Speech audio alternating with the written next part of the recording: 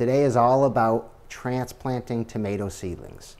When do we transplant tomato seedlings? What container should we use to transplant them into? And exactly how to transplant the tomato seedlings. All of the seedlings we're going to transplant today are seedlings that we planted in the video I put out two weeks ago, how to plant tomato seeds. And in that video, I showed how I plant two seeds per cell in a six cell seed tray like this. So when we get to the section on how to transplant these tomato seeds into another container, I'm going to show you exactly how we can split these up to get two plants per single cell. So we'll get 12 transplants out of this single six cell tray.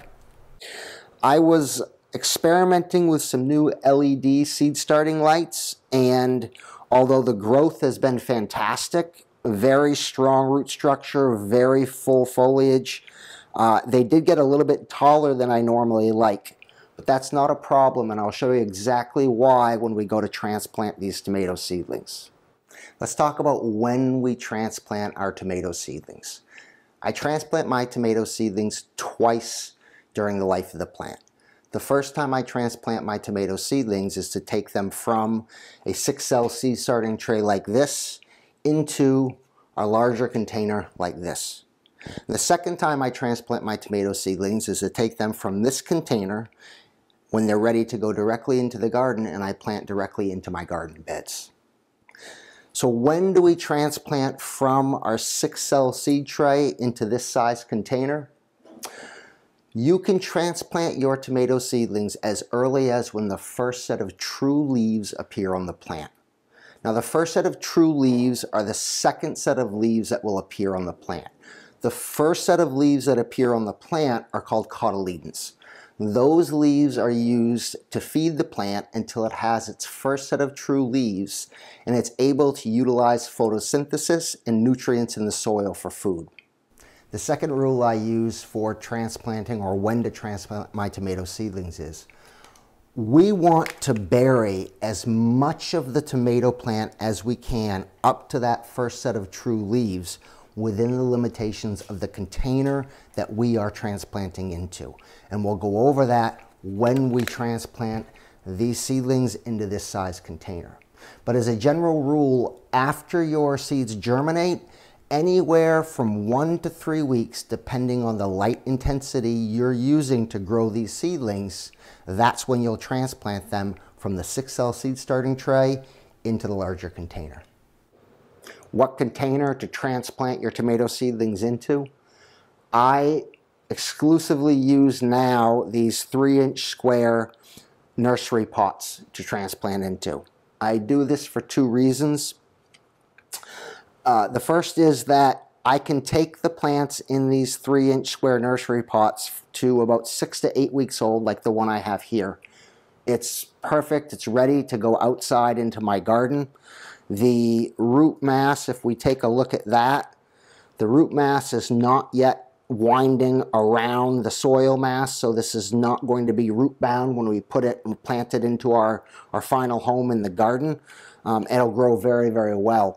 The other reason I like these 3 inch square nursery pots is they fit perfectly into my 10 by 20 inch seed starting tray. So I don't need another bottom container. These I can just line up three across by, by six across in this container. How to transplant our tomato seedlings. As, as always, I use regular organic potting soil to transplant my tomato seedlings into. I make sure the soil is well moistened never transplant into dry soil and then try to water it in. So make sure you have well moistened uh, potting soil. I fill up my potting soil into my container and I just tap it down. I don't push it down in and firm it down in because it will get compacted on the bottom and be very difficult to get this out of the get your plant out of the out of the container. The next thing I do is I make an indention with a two inch dowel rod.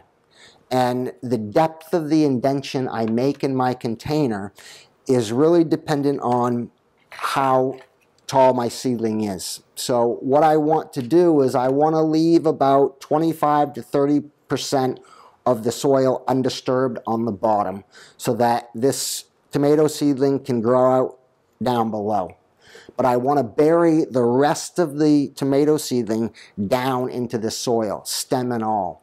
And the reason for that is on tomato seedlings, if we look at the stem of a tomato seedling, you'll see little hairs growing out all around this stem. Those little hairs, if buried under the level of your soil, will become roots, will become uh, additional root mass for your plant. Your plant will be able to take up more nutrients and it will grow stronger and healthier. So with tomato plants, we want to transplant them as deep as we can, but we want to leave 25% of that soil on the bottom undisturbed so those roots that are existing on the seedling can grow down a little bit before they hit the bottom of your container. This you can see our seedlings look very, very healthy. They're not yet root bound too bad. They look very good. And what we're going to do, because we have two plants per seed cell, we're going to split these right down the middle, just like this. And that's leaving us with two tomato plants, and we're going to plant both of these. Let me set one aside here, the other one here. Now I am going to just put this in deep enough so that I leave about 25 to 30% on the bottom.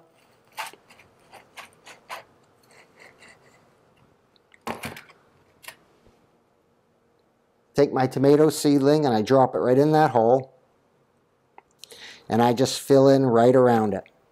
Then I fill in my container all the way around the seedling all the way up to the top of this container. I like to fill it up to the top of the container. I like to be able to make sure that when I'm growing inside and I have my fan on and I'm blowing that airflow across these seedlings, um, I'm going to make sure that there's no soil down below the level of the top of that container that is not getting hit with some of that airflow. Just pat it in gently and there we have it. We were able to bury about half of that stem and still leave 30% um, of the bottom of this container free for the existing roots to continue to expand down. In another three to four weeks, these are going to look exactly like this. Uh, very simple process, very easy to do. There's nothing to it. You don't have to be too concerned um, when you're splitting these apart that you're going to damage the roots. Be gentle, but don't be afraid of it. Uh, your tomato plants are going to be just fine.